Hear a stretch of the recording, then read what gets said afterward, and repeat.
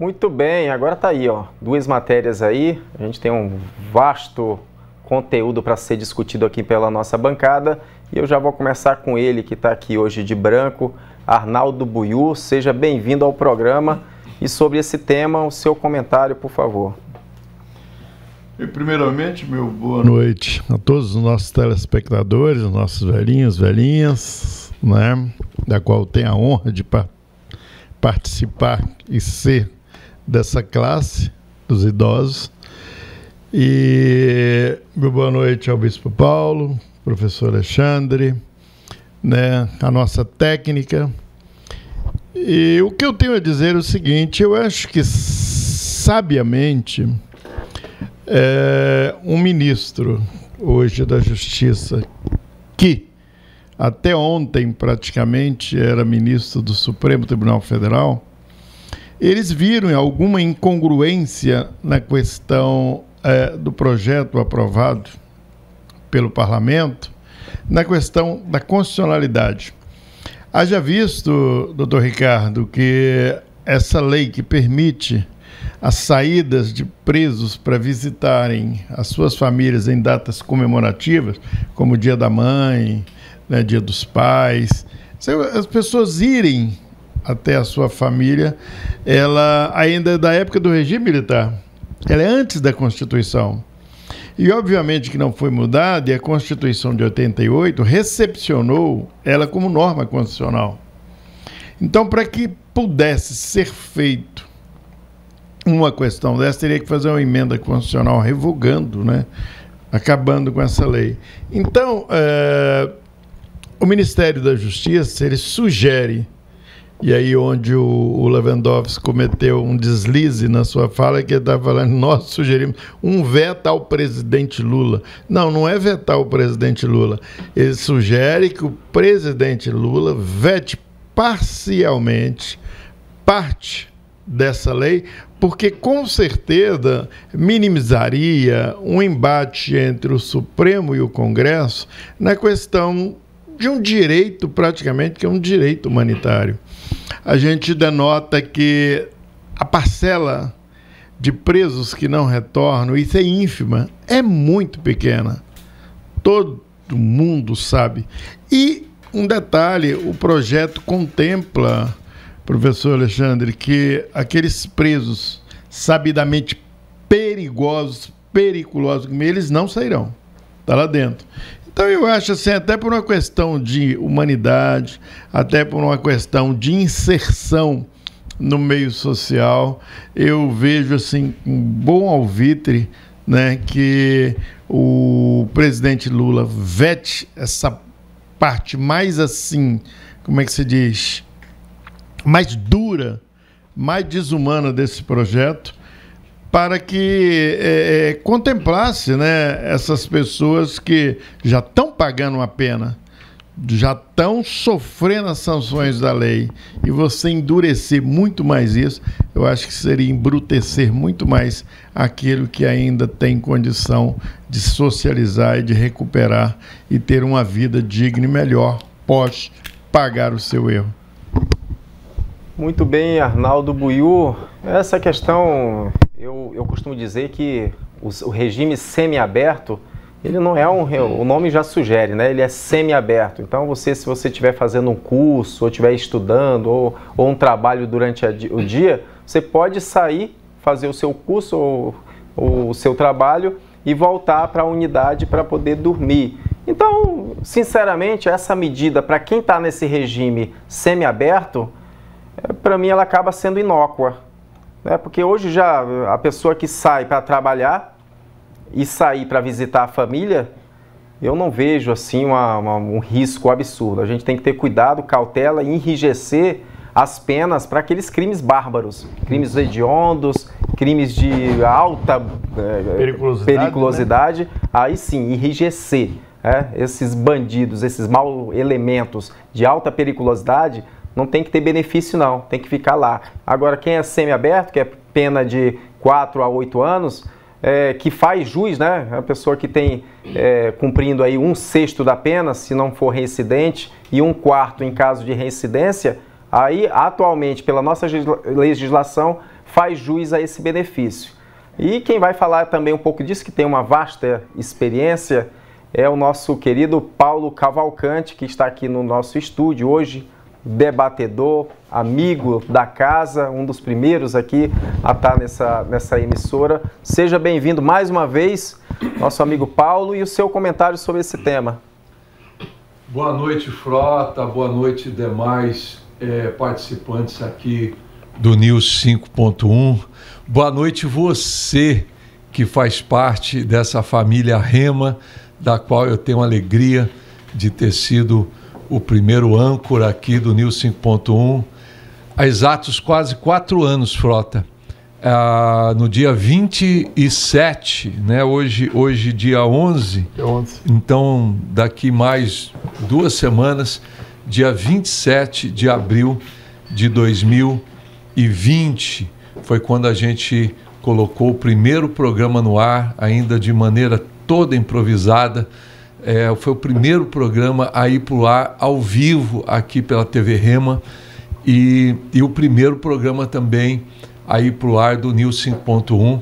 Há exatos quatro anos atrás, dia 27, nós vamos comemorar o início desse programa e eu tive o privilégio de, de estar ancorando é, é, esse momento especial, um sonho que, que veio do nosso coração e que, graças a Deus, tem feito aí é, a comunicação da TV é, rondoniense e de Porto Velho mudar. Eu quero comentar esse momento tão especial. Fazia tempo que eu não vinha, viu, Frota? Eu estava meio censurado aí, mas graças a Deus estou de volta. Deixa eu falar uma coisinha para vocês. É, olha, gente, é quando a gente vê um, um, um ex-membro da Suprema Corte, né, uma pessoa que não, não estamos falando de qualquer um, estamos falando de Lewandowski, né? um cara que teve durante eu não sei quantos anos, acho que foram mais de, de 20 anos aí à frente né, do Tribunal eh, da, da, da, Suprema Corte e também presidiu a Suprema Corte, foi decano. E agora, né, como ministro da Justiça, é, defender né, o indefensável é uma coisa muito séria. Né? Quando você pede para que seja censurado uma lei que foi aprovada no, na Casa de Leis. Uma lei que foi aprovada na Casa de Leis. Por que foi aprovada? Porque pessoas estavam saindo e matando. Pessoas estavam saindo e, e, e roubando. Pessoas estavam saindo e constrangendo aqueles é, que foram é, é, motivo da sua prisão. Então é um negócio muito sério, né? Quando você vê uma, uma a, aquela que assassinou o, os próprios pais, a, a, como é que é o nome? Suzana Su, Suzana, né? A Suzana Ristoff, você vê ela é, saindo no dia dos pais. Seria é, Só se for cômico, visitar os pais no cemitério. Se não né? fosse trágico. Paulo, visitar a, pai, né? os pais no cemitério. A, né? a, própria frota, a própria que executou os pais com requinte de crueldade, saindo né, na saidinha dos dias dos pais. Então é, é, é fica triste, fica incomentável, é, é lamentável né, que, que eu espero que o Lula não ouça isso, né, que ele não tente fazer esse veto e que o Supremo Tribunal não, não tente legislar o ilegislável, né? porque o Supremo Tribunal deveria apenas proteger a Constituição brasileira e não fazer o papel de deputados e senadores que foram eleitos para isso. Muito bem, grande amigo, é uma honra tê-lo você aqui para debater é, esses assuntos tão polêmicos eu reforço a ideia né, de que a gente, a, gente precisa respeitar o legislativo. Eu sempre, as instituições têm que ser respeitadas, é, a competência de cada um. E essa também foi uma resposta da casa, né? A Casa das Leis. Eles foram rapidamente, fizeram aí, aprovaram e agora está para o veto ou sanção do presidente da República. Eu estou agora para chamar nosso amigo Alexandre Pô. Rapaz, hoje está me dando um branco aqui tão grande. Alexandre Porto aqui, que está com a gente aqui direto aqui no programa. Seja bem-vindo mais uma vez. Boa noite e o seu comentário sobre essa temática. Boa noite, Ricardo Frota. Boa noite, Arnaldo Lourenço, nosso homem da feijoada. Boa noite, Bispo. Fazia tempo que eu não vi aqui. Parabéns por ter sido um dos pioneiros aqui da Rema TV, né? Sempre tem que ter alguém que, para começar, às vezes o começo é mais dolorido que depois a continuação, né, Bispo? Mas que bom que tem uns malucos assim que, que se predispõem a isso e por conta disso as coisas começam. Eu tenho acontecer. esse programa no Facebook, até lancei Legal, aqui. Parabéns. Muito parabéns. bom. Pois é. Uh, meu boa noite especial a você que está nos vendo na sua casa, no seu trabalho, então pelas ondas mundo afora da internet e pelas redes sociais. O pessoal da técnica que sempre nos atende bem. Pois é. É um momento, um, um momento, um assunto delicado. É, acho que tem direito, sim, tem direito, mas a gente tem que começar também a falar em deveres. Porque todo mundo só gosta de direito. E os deveres? Se estão lá porque alguma coisa fora da lei foi feita. Tem que respeitar o ser humano. Sabemos que as nossos presídios, a, o índice de ressocialização é, é beira o 0%. Agora, o bispo tem um exemplo interessante. Será que está certo uma pessoa que matou os pais sair no Dia das Mães? Eu já tenho a liberdade para sair no semiaberto, me corrija aqui o, o doutor Ricardo, se eu estiver errado, sai durante o dia volta à noite. Isso por só já é uma saída. Sou favorável sim se está estudando, se está fazendo uma coisa assim. Agora, por outro lado, eu confesso que eu tenho dúvida. Se é, é, é, é se tem de fato esse direito não. Ah, porque tem há, há três, quatro décadas, décadas esse direito, isso não significa que não pode ser revisto. Acho que a lei deve ser adequada ao momento que se está vivendo. E, e se nós vamos fazer uma pesquisa com a sociedade, certamente uns 60% a 70% vai ser favorável à não liberação de, nessas saidinhas. Então, é acompanhar. Se falar o ministro, né? Ele ficou 17 anos, viu, Bispo? De 2006 a 2023. 17 anos como ministro do STF. Num período desse chegou a ser presidente do STF. Falou da inconstitucionalidade, mas por outro lado eu fico pensando, mas vem cá, tem a CCJ também no, no, no Congresso. Comissão de Constituição e Justiça. Será que esse pessoal não viu isso? Outra questão também. O fato deles vetarem, o do, do, do presidente vetar, volta para o Congresso. E de Congresso derrubar o veto, passa a, valer, passa a valer a lei, e aí a gente vai para o STF, e o STF a gente sabe como vai acontecer, como vai terminar essa história. Então, esse é o Brasil, né? Muito bem, obrigado Alexandre Porto. É, o Arnaldo pediu 30 segundos aqui, rapidamente, Arnaldo. Talvez não saibamos, e talvez não saibamos, até em função da conjuntura, do que está se prevendo aí agora, é, aqueles que votaram a favor do enrijecimento, do endurecimento dessa legislação, talvez agora possa até voltar atrás. Porque muitos dos seus agora estão sendo presos, como o caso dos brasões, como tantos outros, como o caso daqueles que cometeram aquelas.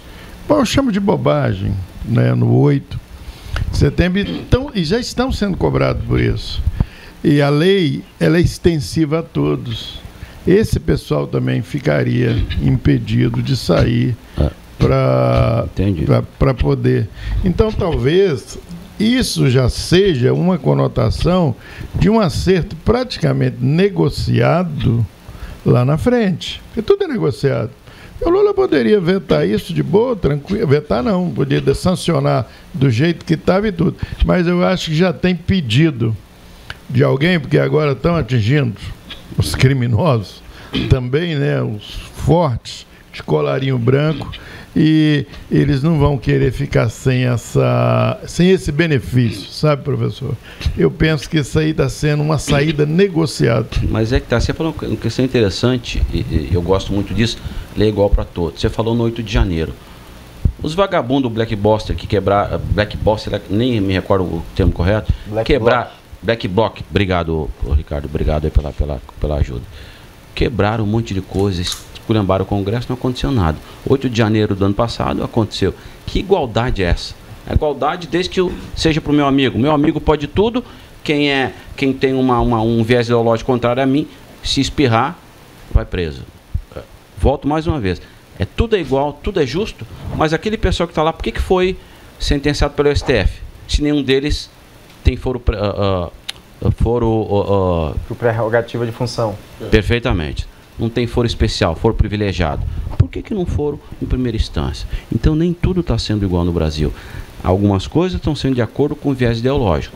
Se eu for do partido A, eu tenho um tratamento. Se eu for do B, tem outro. Volto mais uma vez num assunto que eu já citei inúmeras vezes. G. Dias, querido, simpático, dando água mineral, abrindo portas e tudo mais. O que aconteceu com ele? Nada. O secretário que estava lá de férias, o Anderson Borges, foi preso. Que igualdade é essa? Que igualdade é essa? Conto da carochinha.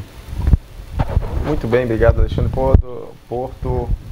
William Pombo, hoje está aqui nos nossos estúdios. William, essa questão do Lewandowski, do ministro da, da Justiça, sugeria ao presidente Lula um veto, ou seja, em outras palavras, ele diz: não, vamos manter a saidinha dos presos. Tu concorda? Acha que o Lula vai vetar parcialmente esse projeto? Boa noite a todos que estão nos assistindo. Boa noite a toda a bancada aqui. É, o meu posicionamento, Ricardo, sempre será o mesmo, né? Eu acho que a cadeia ela não é uma colônia de férias. Ela ali é cadeia. Sempre fui contra saidinha de banco, é de, de, de presos, sempre fui contra, contra regalias de preso certo? E aqui, é que nem o nosso amigo Alexandre Porto aqui falou. Parece que o Brasil ele já está mostrando de fato o que é. Amigo do rei tem privilégio. E aquele que não é amigo do rei, ele tem que sofrer as consequências. A realidade é essa. E eu sou contra, eu sou contra a saidinha, independente de qualquer coisa que seja. Eu sou contra a saidinha. Meu posicionamento sempre será esse, certo? E obrigado pela oportunidade. Muito bem. O amigo do rei que tu se refere é, é, é os presos? Amigo do. Quem seria o rei? E quem seria o amigo? Os presos, amigo do. Isso, exatamente. Os presos. Porque, por exemplo, que nem o, o, o amigo Alexandre Porto falou aqui assim. É, você, a favor do, do, do viés ideológico, você não sofre as consequências. Como aquele citou aqui, os Blacks Blocks. blocks. Quebraram tudo, e realmente quebraram tudo. Sofreram algumas consequências? Não. Certo? Então, esses são os amigos do rei, entendeu? Então, o meu posicionamento sempre foi e sempre será ao lado da população e contra bandido. Para mim, bandido tem que estar tá na cadeia e não tem que ter saidinha. E a população está cansada, então, da criminalidade. É melhor eles guardado do que. Bem guardado, saidinha. bem guardado, acabar com esse negócio. Eu, por exemplo, eu sou um cara que eu, as pessoas dizem que eu sou um pouco radical. Mas sempre, Ricardo, sempre aos que estão nos assistindo, sempre voltado do lado da população. Não tem esse negócio de bandidinho bom, bandidinho mal. Bandido é bandido, cidadão é cidadão. Mas o Arnaldo Buiu, ele sempre fala que tem um bandido bonzinho na presidência da República. Tu concorda com ele? Rapaz, o senhor Arnaldo, ele é demais. Ele é demais. Eu vou te falar uma coisa. É, eu, eu, a gente já teve alguns, emba alguns embates aqui no programa, né? E eu sou um cara verdadeiro, né? Sou pontual no que eu falo. Eu sempre deixei claro para mim que quem apoia bandido é da mesma laia, certo? Então, esse é meu posicionamento. Eita! Você, você é contra os gays? Como é que é? Você é contra a diversidade, os gays? Eu, eu, é, eu queria entender. Ah, você quer entender? Eu queria entender é porque essa não, tá, tá mudando é porque, Não, não, não, não. O que, que tem a ver? Que analogia imbecil Gay? desse cara. Mas não, tá, tá, tá, primeiro que eu não sou bandido, você me respeita. É o meu posicionamento. Seu posicionamento é um posicionamento idiota. Que cada um você me respeita. A democracia para mim. Você me respeita. Corta o microfone. Vamos pro intervalo. Me respeita que você é um Zé Ruela. Vamos falar, vamos falar